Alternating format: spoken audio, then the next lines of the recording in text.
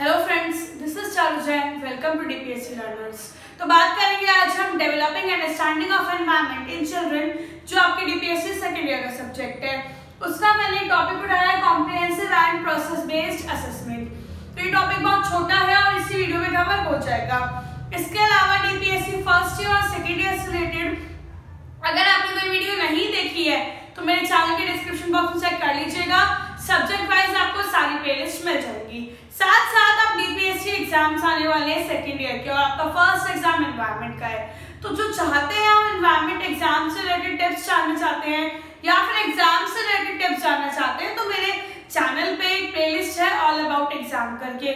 आप उसमें देख सकते हैं, मैंने वीडियोस अपलोड कर दी हैं जिन्होंने नहीं देखी। तो स्टार्ट करते हैं हम comprehensive and process based assessment comprehensive मतलब ही क्या होता है एवरीथिंग मींस हर तरह की चीज़ एक चीज़ में आना उस, उसको बोलते हैं हम comprehensive assessment it is an integral part of education ये बहुत इंपॉर्टेंट पार्ट होता है एजुकेशन का।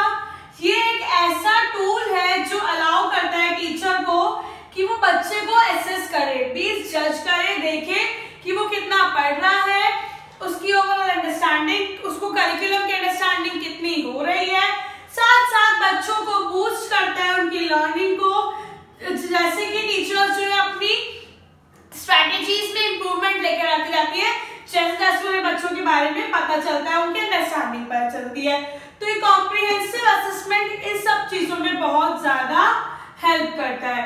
इसके अलावा next multiple strategies comprehensive assessment में मल्टीपल स्ट्रेटेजीज होती है।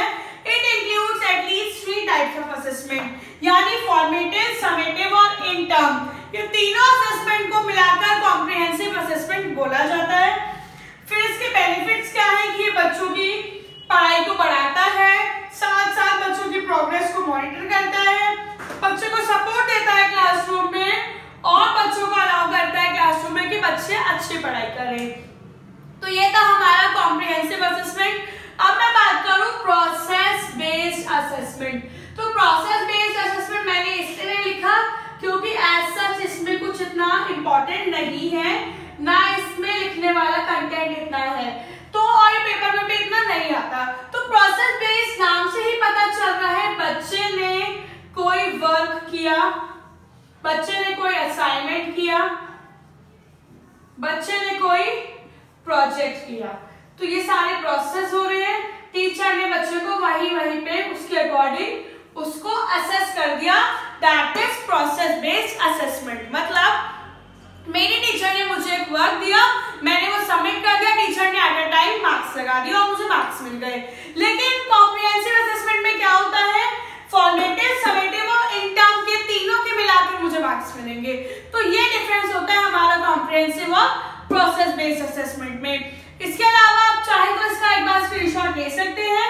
और अगर आपको इसमें कहीं प्रॉब्लम आती है, आप कमेंट बॉक्स में बता सकते हैं। और अगर आपको ये वीडियो अच्छी लगी हो तो लाइक शेयर और सब्सक्राइब करना ना भूलें।